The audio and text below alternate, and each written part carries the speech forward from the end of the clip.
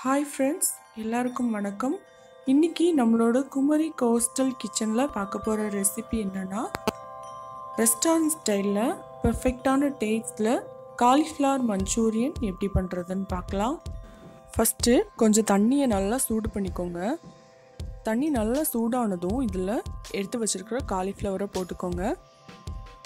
இது கூடவே கொஞ்சமாக உப்பு சேர்த்து கொஞ்சம் நேரம் கிளறி விட்டுக்கோங்க. அப்போ தான் இதில் இருக்கிற தேவையில்லாத அழுக்கு பூச்சி புழு ஏதாவது இருந்துச்சுன்னா போயிடும். இதை ஒரு ஃபைவ் மினிட்ஸில் நல்லா வடிகட்டி எடுத்து வச்சுக்கோங்க.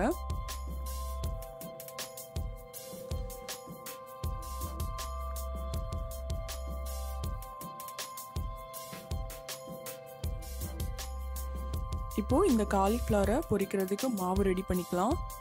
இதுக்கு ஒரு பவுலில் ஒரு கப் அளவுக்கு சோள மாவு ஒரு கப் மைதா மாவு கால் டீஸ்பூன் மிளகுத்தூள் கொஞ்சம் உப்பு சேர்த்து கை வச்சு நல்லா மிக்ஸ் பண்ணி விட்டுக்கோங்க.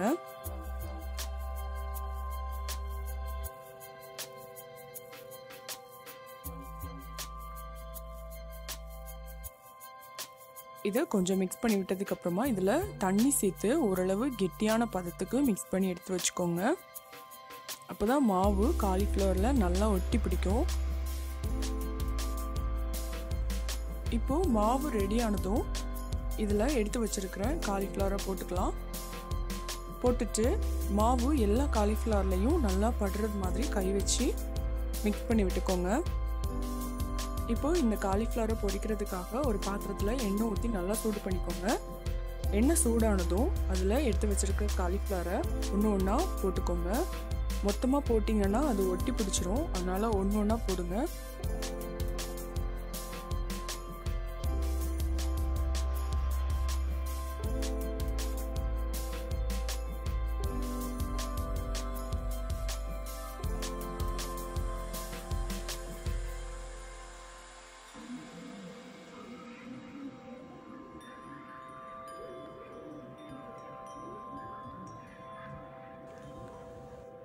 இது கொஞ்சம் பொன்னிறமாக பொரிஞ்சதும் இதை ஒரு பிளேட்டில் எடுத்து வச்சுருங்க.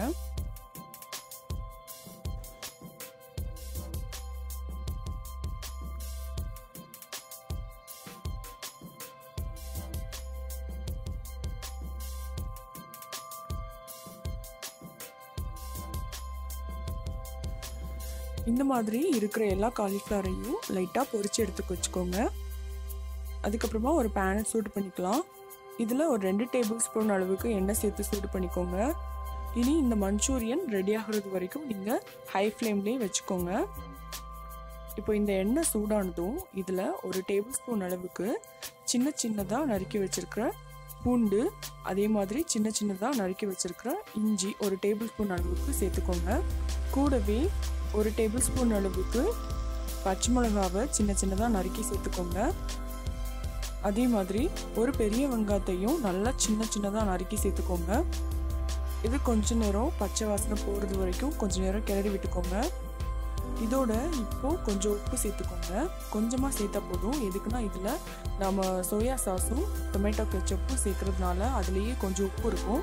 அதனால இப்போதைக்கு கொஞ்சமாக சேர்த்துக்கோங்க. இதில் கால் டீஸ்பூன் மிளகுத்தூள் சேர்த்துக்கோங்க. இதை கொஞ்ச நேரம் கிளறி விட்டுக்கோங்க.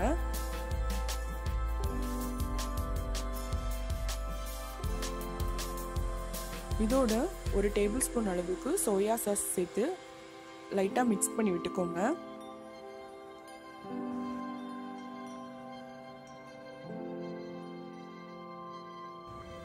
இப்போ இதோட ஒரு டீஸ்பூன் அளவுக்கு மிளகாத்தூள் சேர்த்துக்கோங்க.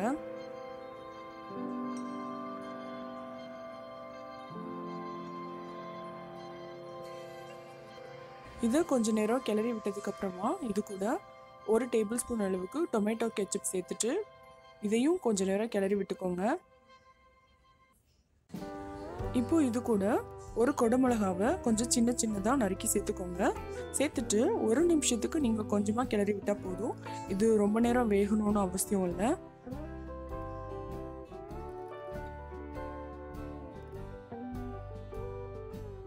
இது கூட கொஞ்சம் வெங்காயத்தாள் சேர்த்துக்கோங்க. இதையும் ஒரு ரெண்டு மூணு வாட்டி கொஞ்ச நேரம் கிளறி விட்டுக்கோங்க. இப்போ இதோட ஒரு டம்ளர் அளவுக்கு தண்ணி சேர்த்து நல்லா மிக்ஸ் பண்ணி விட்டுக்கோங்க.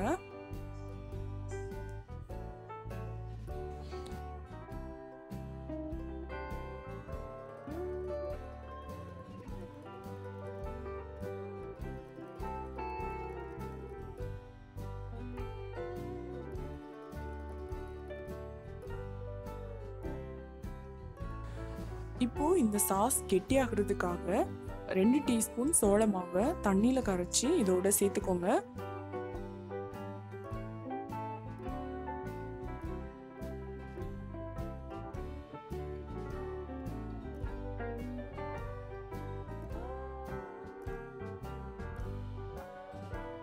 இப்போ இதை கொஞ்ச நேரம் கிளறி விட்டதுக்கு அப்புறமா இதில் பொரிச்சு எடுத்து வச்சிருக்கிற காலிஃப்ளவரை சேர்த்துடலாம்.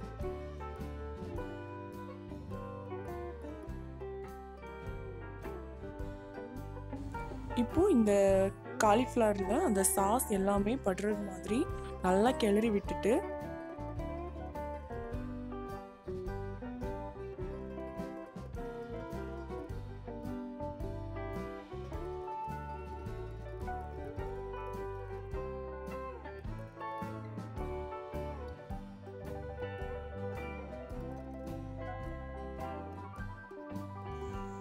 இப்போ இதில் கடைசியாக கொஞ்சம் வெங்காயத்தாள் மேலே தூவிக்கோங்க. தூவிட்டு ஸ்டவ் ஆஃப் பண்ணிடுங்க. இப்போ நம்மளோட சுவையான சூடான காலிஃப்ளவர் மஞ்சூரியன் தயார். நீங்களும் இந்த ரெசிபியை உங்களோட வீட்டில் ட்ரை பண்ணி பாருங்கள் உங்களுக்கு பிடிச்சிருந்துச்சுன்னா எங்களோட சேனலை சப்ஸ்கிரைப் பண்ணுங்கள் ருசியாக சாப்பிடுங்க ருசிச்சு சாப்பிடுங்க.